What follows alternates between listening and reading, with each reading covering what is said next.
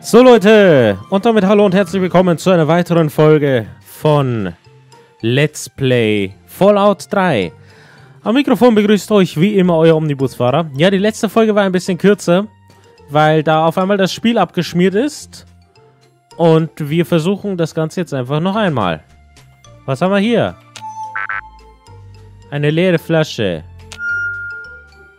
Wir haben hier ein kaputtes Radio. Einen Glaskrug. Ich kann Sachen aktivieren.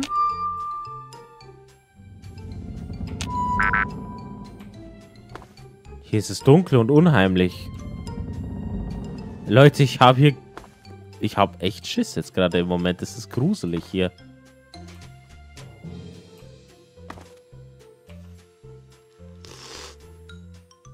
Okay, die Toilette funktioniert. Das Waschbecken funktioniert auch. Ich mache wieder einen Schnellspeicherpunkt. Ich soll das Terminal nicht finden. Und dieser komische Doktor, der hat uns alle in diesen komischen Schlaf versetzt und will nicht, dass wir wieder aufwachen. Okay, ich kann mich hinsetzen. Ich muss jetzt alles mal ganz genau und analytisch betrachten. Irgendwie. Aber vielleicht findet sich ja irgendwo ein Hinweis. Aber es geht ja auch noch eine Treppe hoch. Hinsetzen, Sessel. Mich wundert es, dass ich so Sachen anklicken kann und dass die dann so komisch piepen. Ohne Schmarrn, Leute, ich hab Schiss. Das ist jetzt, das ist jetzt fast wie so ein, wie so ein hartes Gruselgame, weil ich nicht weiß, was passiert als nächstes. Vor allem, weil die eine alte Frau gesagt hat, der will nicht, dass sie aus diesem Schlaf erwachen. Und darum habe ich jetzt schon ein bisschen Schiss, weil ich nicht weiß, was passieren wird.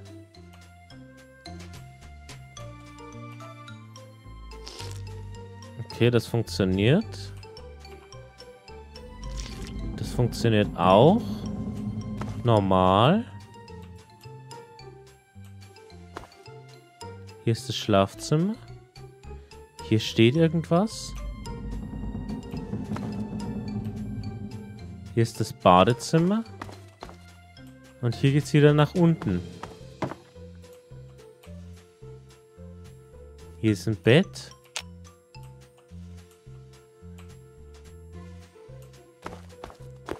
Nö. Gute Frau. Es passiert hier nichts. Ich muss mit der guten Frau nochmal reden.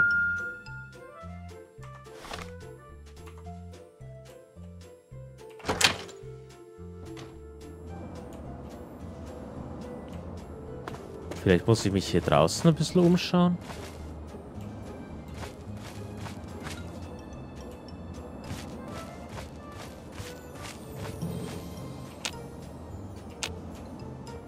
Hm, passiert nichts.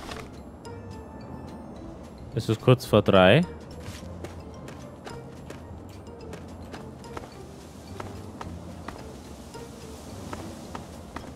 Ich muss noch mal mit dieser komischen Frau reden.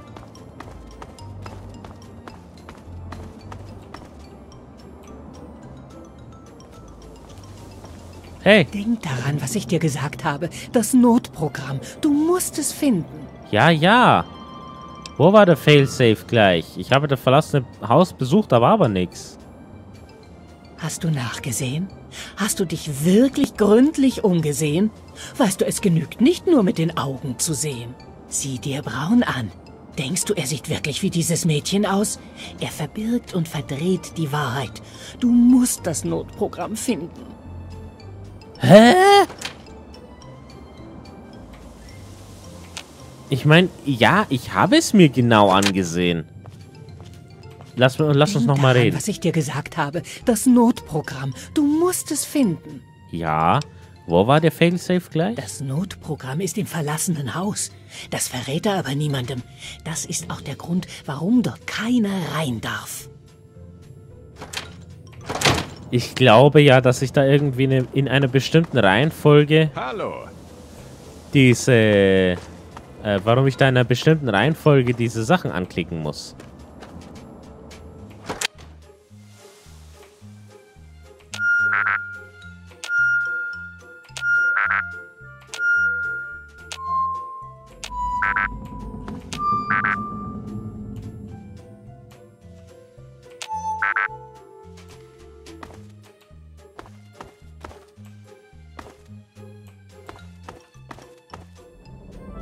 Kann doch nicht so schwer sein. Und so viele verschiedene Kombinationen kann es doch da auch nicht geben. Wir schauen jetzt nochmal oben, aber ich glaube, oben war ja auch nichts, was man irgendwie anklicken könnte. Es waren nur hier unten diese Sachen.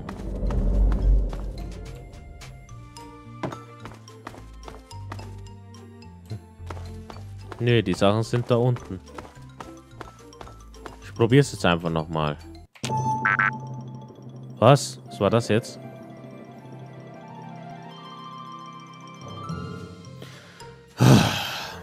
Okay, die Musik hat sich nur neu gestartet.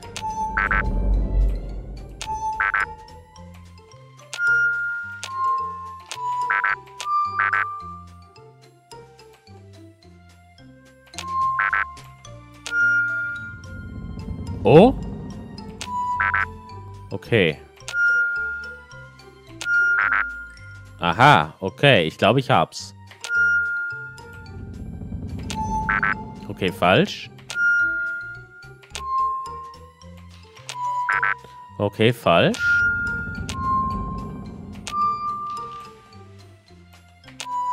Okay, falsch.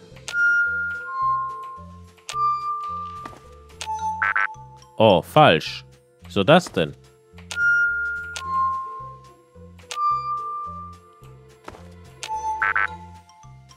Hä?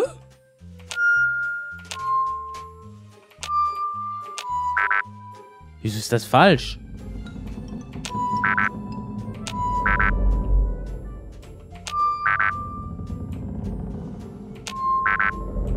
Es ist doch erst Radio.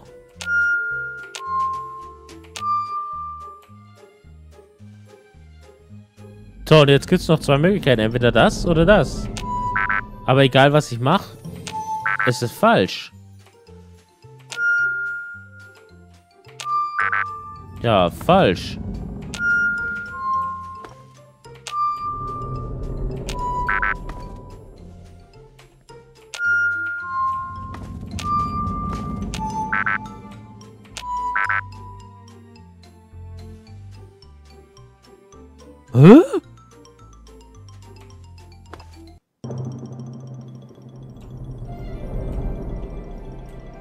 Nicht drauf.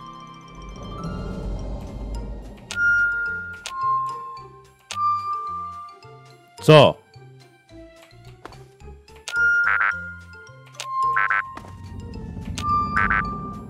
Es musste das Radio sein.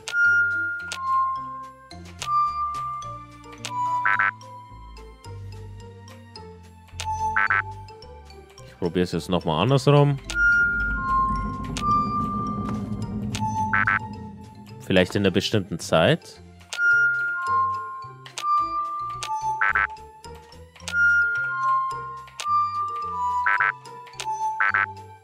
Nee.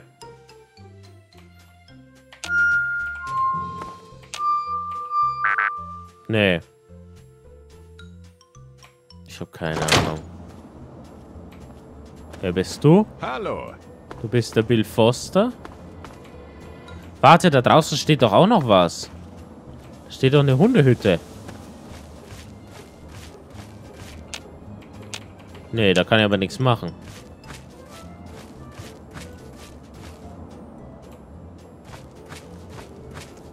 Vielleicht darf ich nur die drei da drücken. Und mehr nicht.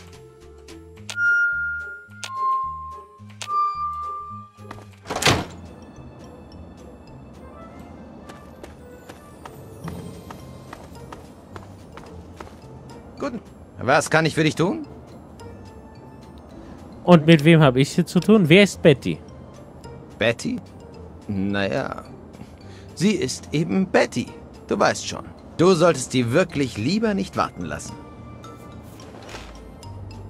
Hm.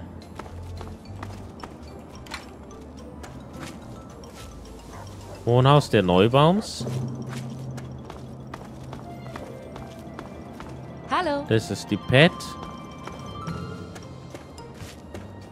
Wohnhaus der Rockwells.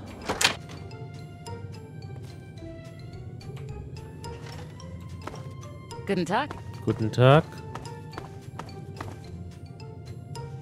Keller des Rockwell-Hauses?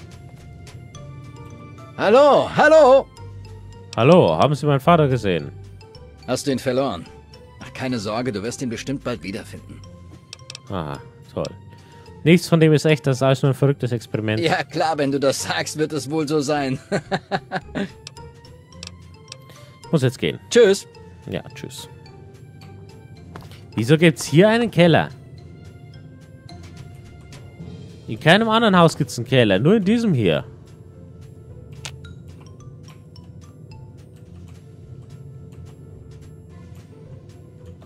Auch dieses Schwarz-Weiß, das macht es nicht gerade ungruseliger. Hallo. Guten Tag.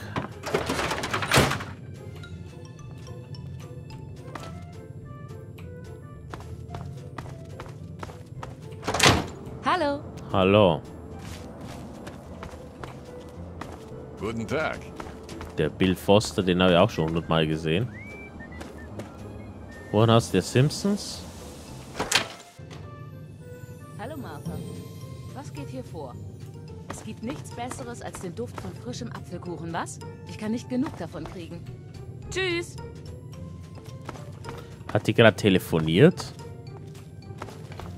Aber die Häuser sind so karg alle eingerichtet. Hallo.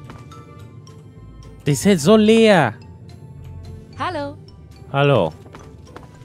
Die sind alle so leer. Da gibt's keine Kleiderschränke. Zum Beispiel. Guten Tag. Scheibenkleister. Ja, ich muss dieses Notprogramm finden. Kann ich nochmal mit der alten Frau reden?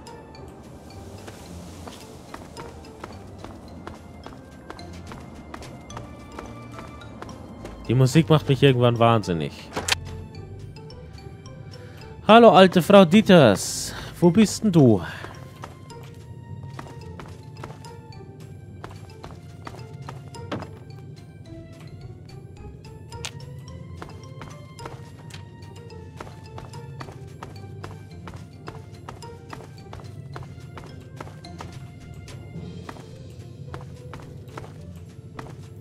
Dieser Traum hat sich zu einem Albtraum entwickelt.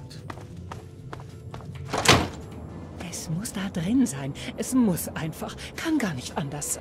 Denk daran, was ich dir gesagt habe. Das Notprogramm. Du musst es finden.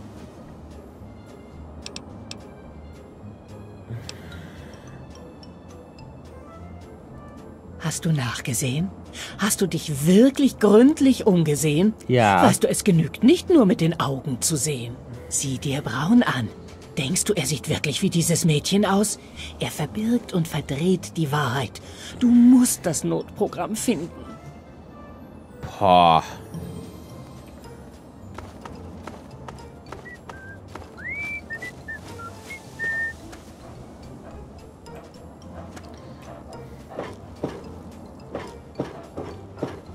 Wen soll ich noch mal zum Weinen bringen? Wie hat der geheißen? Ach, ich habe keinen. ich habe keinen Pip-Boy dran. Schon Du möchtest nicht mit mir spielen? Darum möchte ich auch mit dir nicht sprechen. Du wirst deinen Papa nie finden. Du möchtest nicht mit mir spielen? Darum möchte ich auch mit dir nicht sprechen. Du wirst deinen Papa nie finden.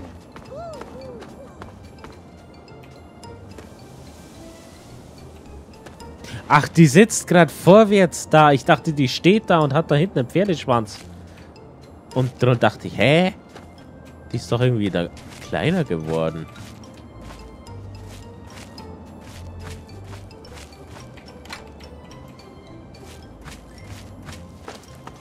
Dieses Auto sieht auch ein bisschen älter aus.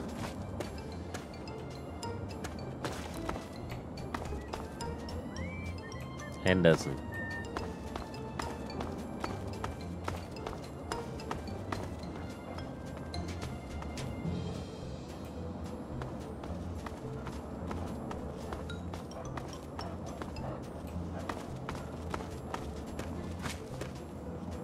Wohnhaus der Rockwells. Wohnhaus der Nussbaums. Hallo. Ist Hallo. das das Haus der Nussbaums? Ah, da ist er. Hallo, möchtest du spielen? Betty sagt, ich soll sie zum Weinen bringen. Was? Nein, das hat sie nicht. Oder etwa doch? Ja. Ich mag sie nicht. Sie ist unheimlich und lacht über Dinge, die nicht lustig sind. Ja. Naja, was sollen wir machen? Ich finde diesen Code in diesem Haus nicht, als ist es das Einzige, was mir jetzt noch bleibt. Du bist ein großer, dummer Lügner. Ja, das bin ich, da hast du recht. Und ich hab's nicht anders verdient.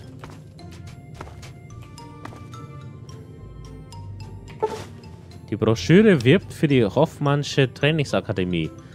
Die Schlagzeile lautet, wir machen die Straftäter von heute zu den Anführern von morgen. Aha, toll.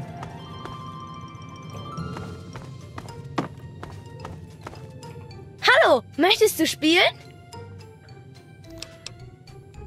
Schau, was ich habe. Sie schicken dich auf die Militärschule. Was? Nein.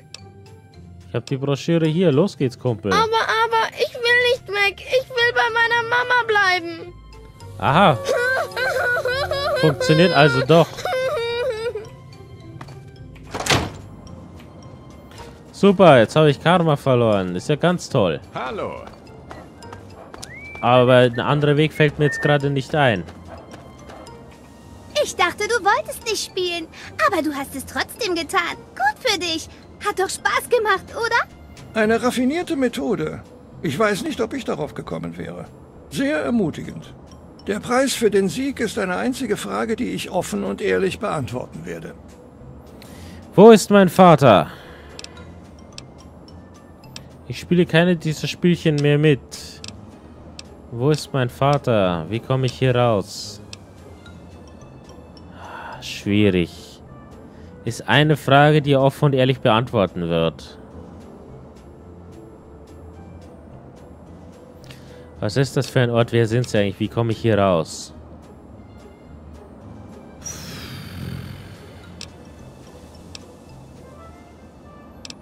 Wie komme ich hier raus?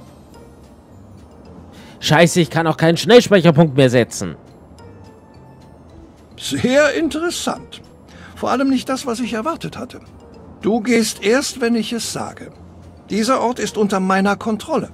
Und ich bestimme, wann du gehst.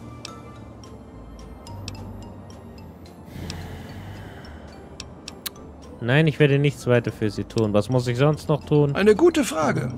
Timmy war einfach und darum langweilig. Ich wünsche mir mehr echte Unterhaltung. Die Rockwells führen eine Bilderbuchehe. Ändere das. Sie sollen sich trennen, ohne dass du einen der beiden tötest. Ach Wenn du nee. es schaffst, habe ich was zu lachen. Dann können wir weiterreden. Das war so klar. Das war irgendwie so klar. Bah. Ich muss noch mal in dieses verlassene Haus rein.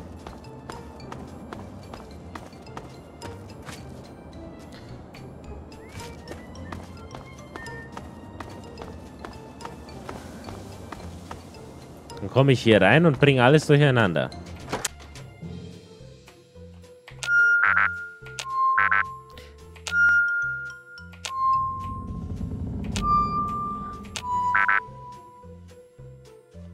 Muss ich es anders probieren.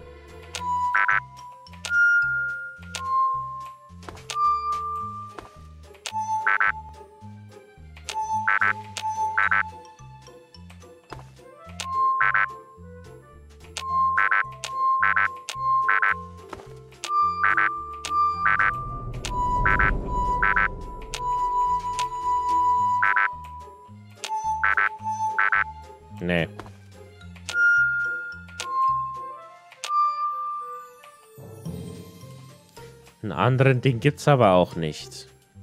Einen anderen Schalter.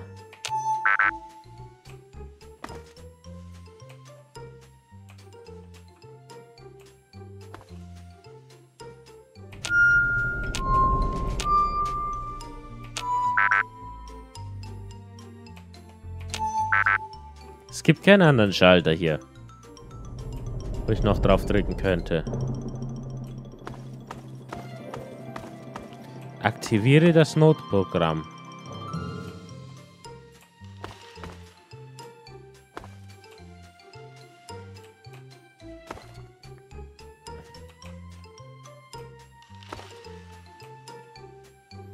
Hier gibt es aber auch nicht mehr zu sehen. Licht gibt es auch keins.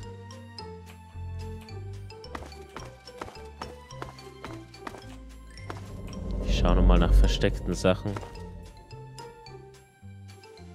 Ne, hier gibt es bloß noch einen Sessel zum Hinsetzen.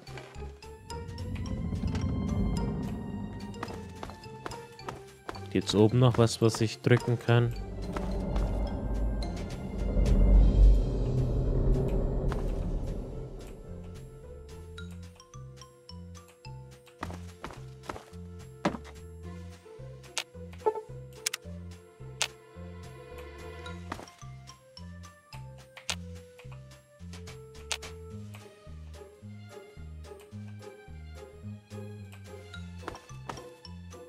Hm.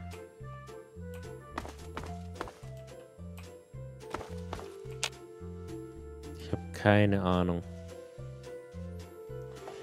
Ja, und meine Uhr sagt mir, dass es schon wieder Zeit ist. Deshalb würde ich sagen, sehen wir uns einfach in der nächsten Folge wieder. Und ich schaue jetzt einfach mal im Internet nach, wie man dieses Rätsel hier löst. Weil ihr wart ja dabei, also irgendwie komme ich da jetzt hier nicht weiter. Wir sehen uns in der nächsten Folge wieder. Bis dahin, macht's gut. Tschüss, euer Busfahrer.